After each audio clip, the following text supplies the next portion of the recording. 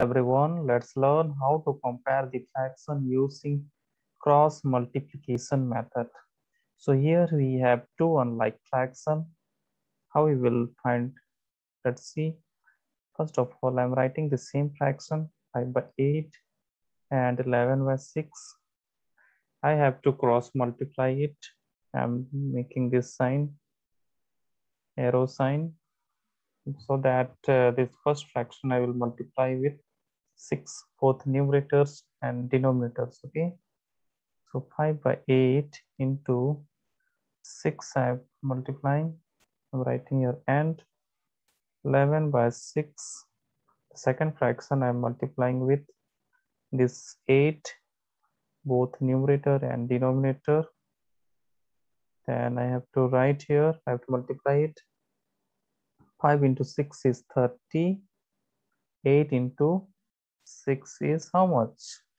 48 here also 11 into 8 is 88 by 48 so now I can write 30 by 48 is less than how less than?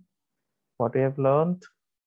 If you are comparing like fraction after cross multiplying it we have made it what? Like fraction. When we call it like fraction when the denominators are same. So here we can see the denominators are same.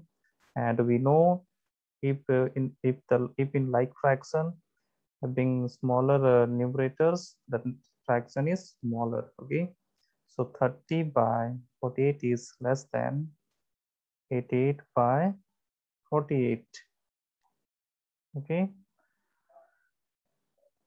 isn't it? So we can say uh, this fraction is smaller. 5 by 8 fraction is smaller isn't it?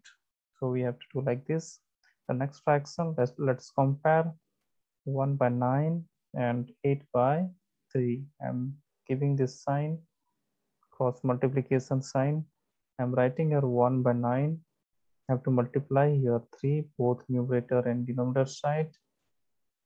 And 8 by 3 I'm multiplying this 9 both numerator and denominator. What I will get here? 3 by 27 and this side I will get 9 into 8 is how much? 72 by 27 here we have converted it into a like fraction and we can compare it easily so we can say 3 by 27 is less than 72 by 27. So like this we have to do, isn't it?